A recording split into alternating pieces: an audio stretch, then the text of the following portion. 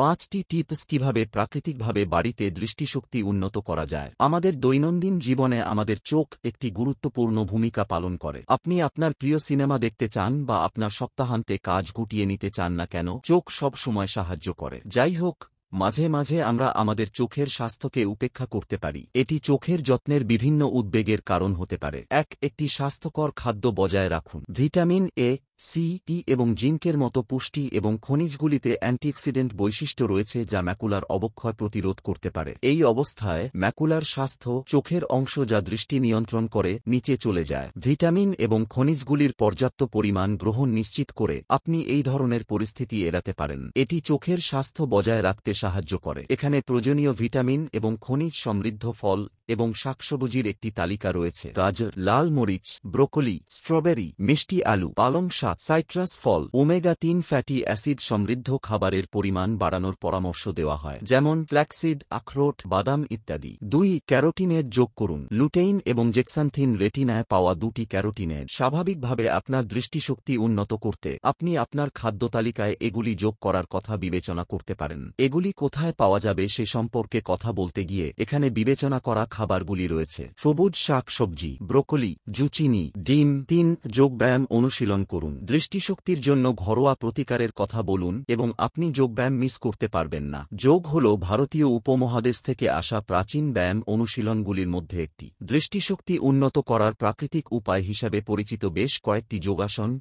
Pose রয়েছে। উদাহরণস্বরূপ, আপনি নিম্নলিখিত আসনগুলি অনুশীলন করতে পারেন। হালসানা, বালাসন, পদহস্তাসন শীর্ষাসন এই আসনগুলির উদ্দেশ্য মুখের দিকে রক্ত প্রবাহ বৃদ্ধি করা। এটি ভালো রক্ত সঞ্চালনের দিকে পরিচালিত করে, যা চোখের পেশিকে পুষ্ট করে এবং তাদের সক্রিয় রাখ। চার, ধূমপানকে না বলুন। ধূমপান অপটিক স্নায়ুর ক্ষতি করতে পারে, ম্যাকুলার ডিজেনারেশন হতে পারে। উপরন্তু, ধূমপান নার্ভ ব্লক হতে পারে, সংবেদনশীলতা হ্রাস করতে পারে। ধূমপানও ছানির একটি সাধারণ কারণ। আপনি যদি সিগারেট পান করেন, তবে তা ছেড়ে দেওয়ার চেষ্টা করুন। আপনি যদি প্রস্থান করার চেষ্টা করেন এবং ব্যর্থ হন, তবে চেষ্টা চালিয়ে যান। আপনি যত বেশি চেষ্টা করবেন, তত বেশি আপনার প্রস্থান করার সম্ভাবনা রয়েছে। পাঁচ, পর্যাপ্ত ঘুম পান এবং আপনার চোখকে বিশ্রাম দিন। আপনার চোখকে পর্যাপ্ত বিশ্রাম দেওয়া চোখের স্বাস্থ্যের জন্য অত্যন্ত গুরুত্বপূর্ণ। এছাড়াও, আপনার শরীরের সর্বোত্তমভাবে প্রক্রিয়া করার জন্য পর্যাপ্ত পরিমাণ ঘুম এবং বিশ্রামের প্রয়োজন। প্রতিদিন অন্তত সাত থেকে আট ঘণ্টা ঘুমানোর পরামর্শ দেওয়া হয়। পর্যাপ্ত ঘুমের পর